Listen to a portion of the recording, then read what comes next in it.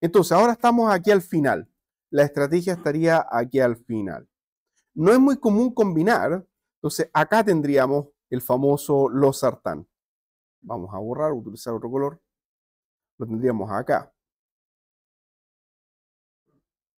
Entonces, los requisitos estructurales van a hacer que el compuesto sea un péptido. No, porque ahora es otro target. Es un receptor, ya no es una enzima. La estrategia va a estar ahí al final. No es muy común mezclar esto. Mezclar un antagonista AT2 con un inhibidor de la ECA, la verdad es que no se hace. Se, se pasa al antagonista AT1 cuando el inhibidor de la ECA no es muy eficaz. Los inhibidores de la ECA son bastante inocuos como fármaco en cuanto a efectos adversos. Sí es más común la estrategia combinada del el inhibidor de la ECA, como por ejemplo en Alapril, con un fármaco antagonista adrenérgico un eh, beta adrenérgico como propranolol, más un diurético, como por ejemplo hidroclorotiazida o furosemida. Es muy, muy común esa triada para pacientes hipertensos. Pero añadir ahí mismo los sartán, insisto, no, no, por lo visto no funciona mucho, no es muy eficaz en reducir la presión mezclando de esa manera. Bien, dentro de los problemas eh, adversos se mencionan acá algunos problemas renales de enalapril, más los problemas de tos, ahí sí, nótese por ejemplo en un estudio acá, personas con tos, 54 casos de un total de más o menos ahí hay como 70, 70 casos, o sea, la mayoría experimentó problemas de tos. Perdón. Entonces dice acá, los intentos por desarrollar comenzaron en los años 70, desarrollar qué? Antagonistas de los receptores de angiotensina 2. Entonces, solo en 1980 se consiguieron dos compuestos de tipo no peptídico, porque la angiotensina 2 es un péptido. Entonces, la primera idea fue desarrollar un péptido como antagonista, pero se consiguieron dos estructuras antagonistas que no tienen estructura peptídica. Pregunta, entonces, en el primer caso tenemos una estructura muy, muy simple, la N-metilglicina, A ver, si maximizamos esta primera parte.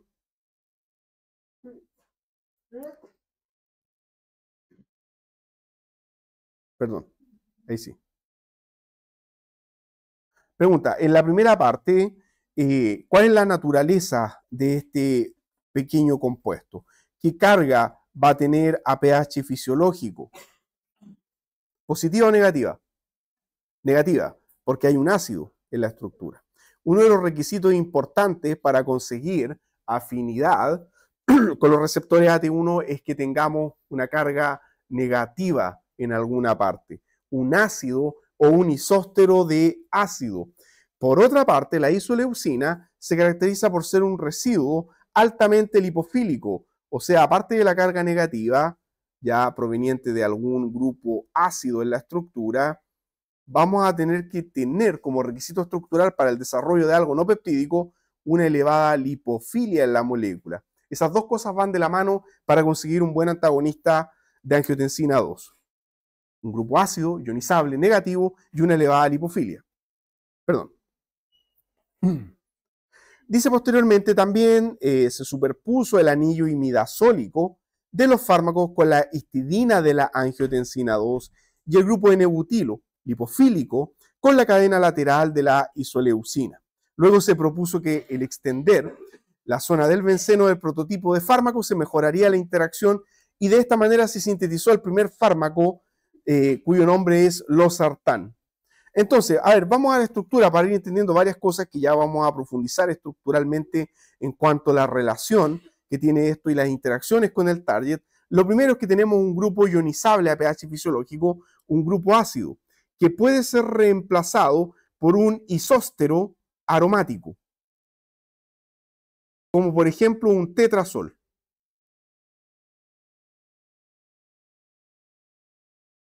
Luego, al lado izquierdo, tenemos una cadena lipofílica butílica, una cadena de tipo N-butil. Una cadena N-butil, un grupo ácido en la parte de abajo un residuo aromático electrodeficiente. Este anillo que está acá es fuertemente electrodeficiente. Hay otro grupo ionizable en la estructura ¿Qué me pueden decir del anillo central de esta estructura de los sartán? Ya el nitrógeno, esto es un imidazol. Y el imidazol solo, cuando estudiábamos, por ejemplo, los derivados de histamina, eh, tiene un pKa de 7. Entonces, 50% ionizado a pH fisiológico, pero este no. Este no es básico. ¿Por qué? ¿Qué cosa le resta basicidad? Muy bien, porque el cloro es un electroatractor. Reduce fuertemente la basicidad del sistema. Y hay otro efecto inductivo a la distancia por el anillo de abajo. ¿Por qué? Porque si bien es cierto está más lejos, pero tenemos un, grupo electroatractor a la distancia. Aquí hay un efecto inductivo electroatractor. Todo eso contribuye a que ese anillo no se protone a pH 7. Centros quirales, ninguno en la estructura, dos anillos aromáticos, una cadena lipofílica y un grupo ionizable ácido a pH 7.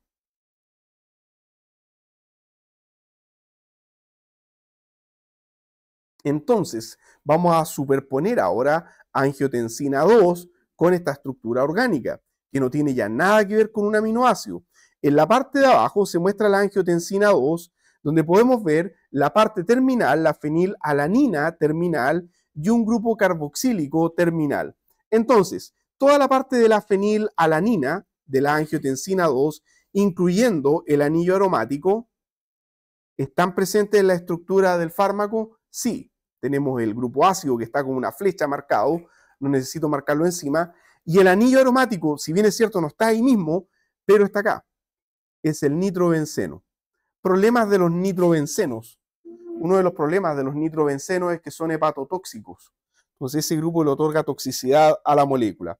¿Por qué? Los nitrobencenos tienden a producir muchos radicales libres, estrés oxidativo. Son fragmentos súper insolubles en agua y cuando se tratan de metabolizar por los citocromos producen radicales libres.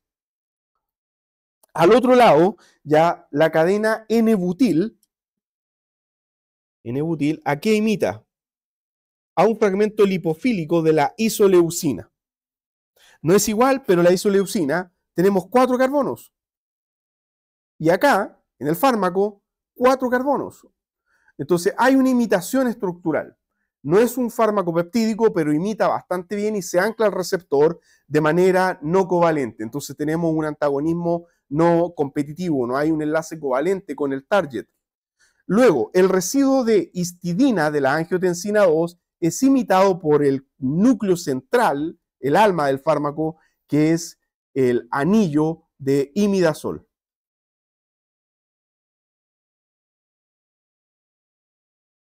¿Hay algún átomo de cloro en la proteína? No, ¿no es cierto? Porque los aminoácidos no tienen cloro en la estructura. ¿Sí?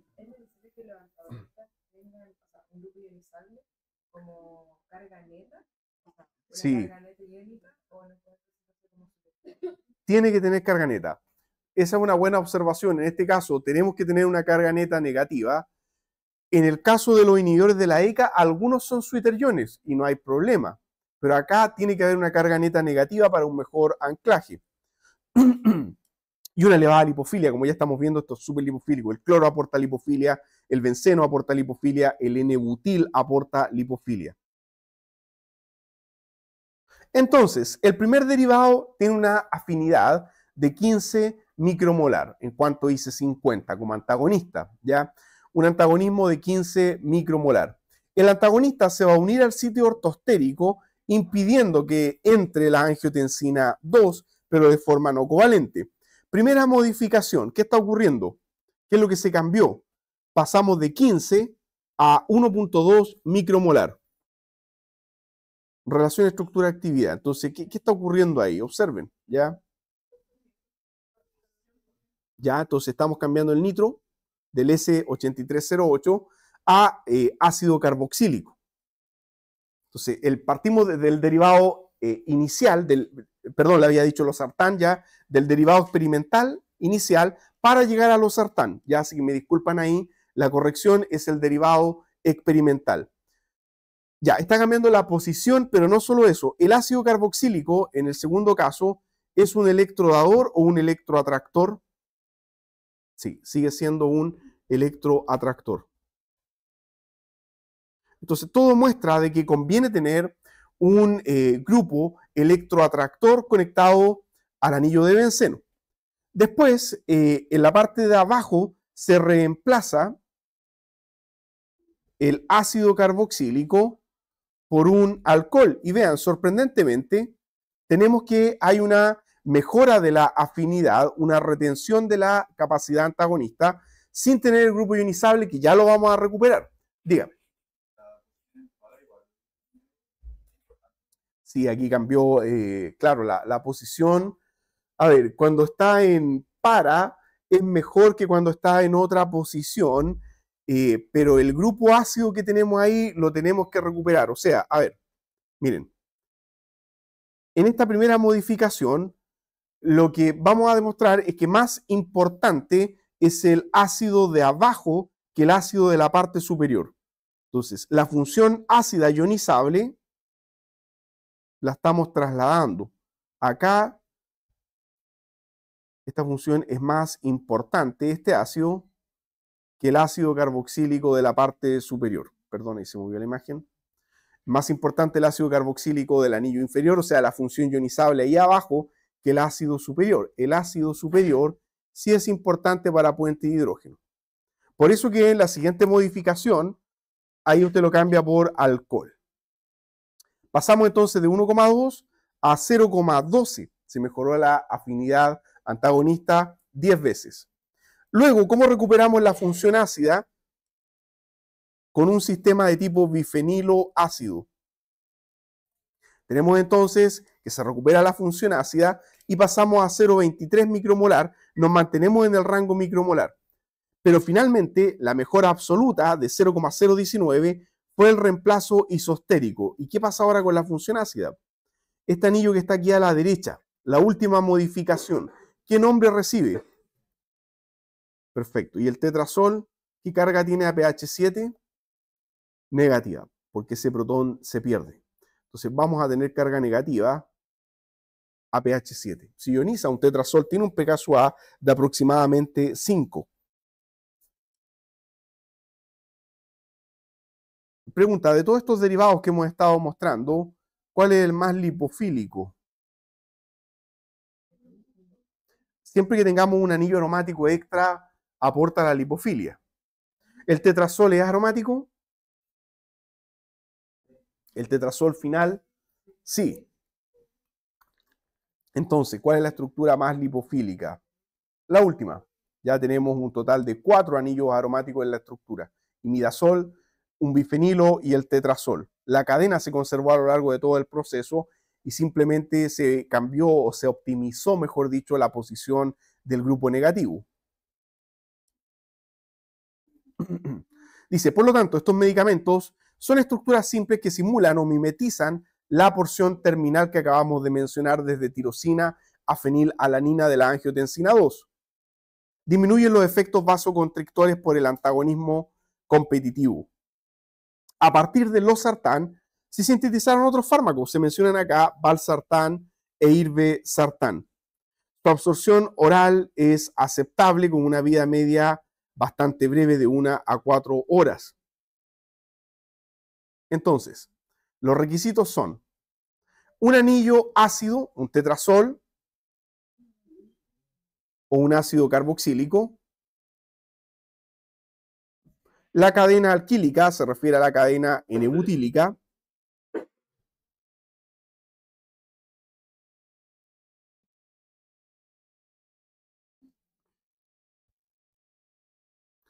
Y dice grupo carboxilo. Ahora, este grupo no necesariamente, eh, a ver, si vamos acá a la estructura anterior. A ver, espérense, aquí hay un error. Porque miren, en la estructura de los sartán, la última, lo que se hizo fue eh, cambiar el ácido por CH2OH, o sea, por un alcohol neutro. Pero en la estructura que estamos mostrando acá al final, hay dos ácidos. ¿Lo ven? Y este no es imprescindible para la actividad. Así que ahí tenemos que rectificar, ahí sería CH2 o H.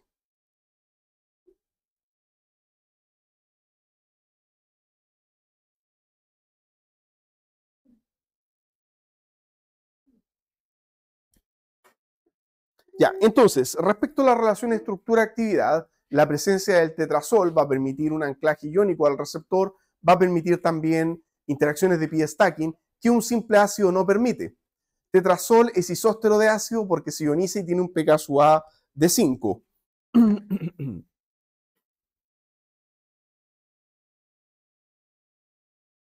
A ver, quiero llegar a una, a una diapositiva donde había más moléculas. Permítanme ir a la siguiente. Vamos acá.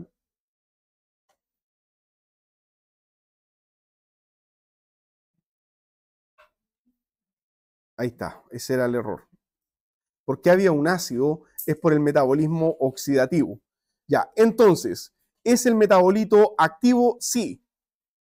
Lo que está ocurriendo es la oxidación de la cadena lateral conectada al imidazol. Entonces, en este punto acá se va a oxidar y cuando se oxida tenemos un carbonilo ahí, o sea, la función ácida que está acá. Eso es lo que está ocurriendo ahí. dice que el metabolito es 10 a 40 veces más potente, una vida media superior. Entonces, en el caso particular de los sartán, tenemos que tanto los sartán es activo como su metabolito oxidado o reducido. Oxidado, porque pasamos de un metileno, CH2, a un CO. Muy bien, tomando en cuenta, dice ahí este antecedente, ¿es los sartán un profármaco? No, porque los sartán en sí ya vimos que tiene actividad antagonista y el metabolito tiene mejor actividad antagonista aún. Entonces, ¿podríamos dar el metabolito solo en vez de eh, los sartán? Sí, ya, pero si damos los sartán tenemos el efecto doble, el de los sartán y luego su metabolito. Entonces, si ustedes quisieran acortar el tiempo de acción del fármaco, sí tendrían que dar el metabolito directo. ¿Ok? Ojo con eso. Los sartán más su metabolito suman un tiempo de vida media largo, dice ahí de alrededor de 10 horas. Pero si diésemos el metabolito solo, el tiempo de vida media sería menor. A partir entonces de los sartán, se sintetizaron diferentes análogos. Vamos a ver algunos de ellos. Ya, pregunta entonces, respecto al anterior, ¿cuál es la principal eh, modificación que tenemos acá? Que se elimina un anillo aromático, el anillo de imidazol, por un residuo oculto de valina.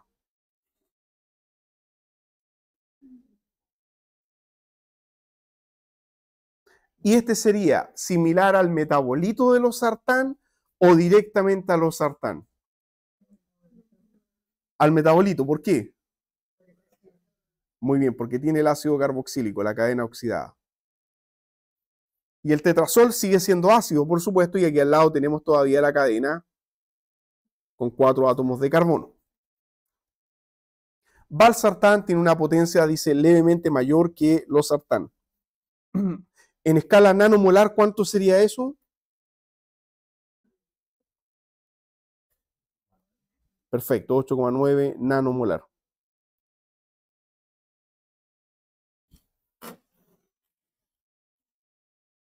Ahora, si nosotros hacemos un esfuerzo ahí de entender la estructura, Nótese que esta porción de acá, donde estaba el imidazol, todavía es como que sigue presente, pero abierto. Eh, ¿Hemos añadido algún problema relacionado con quiralidad al hacer eso o no?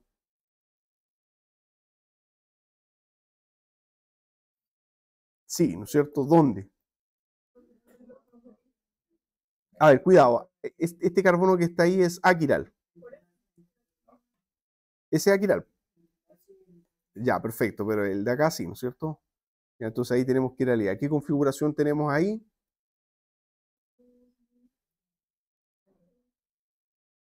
Está para adelante la cadena y el protón hacia atrás. Es ese, ¿ya? Muy bien, entonces eso respecto valsartán. Metabolismo de la cadena. Metabolito por hidroxilación de la cadena alquílica que genera un metabolito menos activo. Pregunta, ¿por qué ahora tenemos un metabolito pero que es menos activo? Exacto, muy bien. Ese hidroxilo ahí reduce la lipofilia. Vimos que esta cadena tiene que ser lipofílica, la cadena N-butílica. Al tener ahora un hidroxilo ahí se reduce la lipofilia. Eh, otro metabolito posible es este, a ver, no está acá, pero lo vamos a marcar, la ruptura y la pérdida de todo ese fragmento. ¿Qué creen ustedes? Va a generar un metabolito más o menos activo. Mucho menos activo porque ya perdemos la cadena completa. Entonces también es posible ese tipo de ruptura. Vamos al siguiente, Irbesartán. ¿Qué tipo de unión es esa que se muestra ahí arriba en la parte superior? Exacto. Entonces tenemos dos ciclos con una unión de tipo espiro. Es aromático el anillo eh, imidazolónico. Ahí teníamos inicialmente una histidina, pero ahora ya no. Entonces, tenemos ahí que ese carbono, eso no es quiral. Muy bien, ¿no es cierto? Hay una simetría, entonces eso es aquiral. Y el anillo, eso no es aromático. No aromático. ¿Ya? Porque tenemos precisamente este carbono SP3 ahí que rompe cualquier conjugación. Está conjugado el carbonilo con el nitrógeno con el doble enlace, pero ahí se rompe. ¿Ya? Entonces no es obligación de que ese sistema sea aromático. Ya vimos que lo podemos abrir también y seguimos teniendo actividad. Valor 0,03. Entonces eso sería 1,3. Eh, esta, cuestión es tan sensible. Un segundo. Ahí sí. Entonces sería 1,3 nanomolar.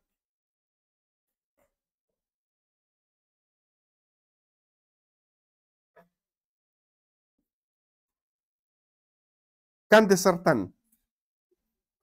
Bien. ¿Cómo se llama el heterociclo fusionado por la cara que tenemos ahí a la izquierda?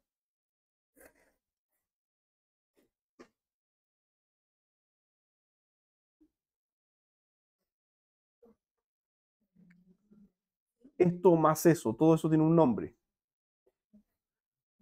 Cuando vimos inhibidores de la bomba de protones, vimos eso. A ver, solo el anillo de 5 es un imidazol. Y este es un benceno unido a un imidazol. Benzimidazol.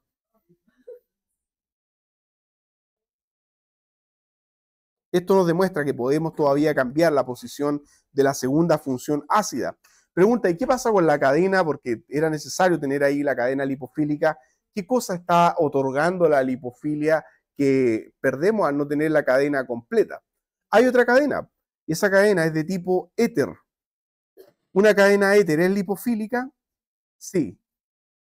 Y aparte de eso, ¿qué otra cosa contribuye a la lipofilia? Claro, al tener ahora el sistema benzimidazólico, ese anillo aromático, aporta también lipofilia. El candesartán se vende en forma de silexetilo como sal, la sal eh, se va a hacer tanto en el tetrazol como en el ácido carboxílico. Entonces acá, em, perdón, en, forma de profármaco. Ya, vamos para acá, maximicemos la estructura. Ahí está. Candesartán, ciclohexetil. El profármaco sería un profármaco de tipo éster. Entonces, este éster es el que se puede hidrolizar. Pregunta, ¿y podemos hacer un profármaco en el tetrazol? Por ejemplo, por metilación, si sacamos el protón y metilamos ahí. No, ya porque no se va a romper fácilmente, no se va a ionizar fácilmente, o sea, no va a haber una ruptura para liberar y generar un anión. Ese éster, ¿qué creen ustedes? Candesartán, ciclohexetilo, ¿es lipofílico o hidrofílico con esa cadena? Yo sé que se ven oxígenos ahí. Ya ese es un carbonato, esto que está acá. Pero después hay un ciclo hexano. todo esto es súper lipofílico. Ya todo este fragmento.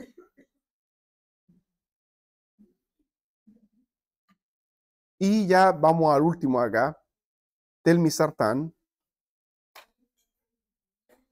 Bien, entonces tenemos la cadena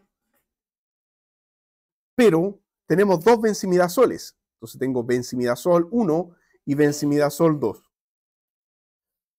Entonces, la estrategia una vez más se repite. Ya grupos aromáticos, hay bastante libertad en esta zona para explorar distintos grupos. Se conserva una pequeña cadena, en este caso solamente de tres carbonos, y se conserva la función ácida, pero esta vez en el sistema bifenilo con directamente un ácido carboxílico. ¿ya?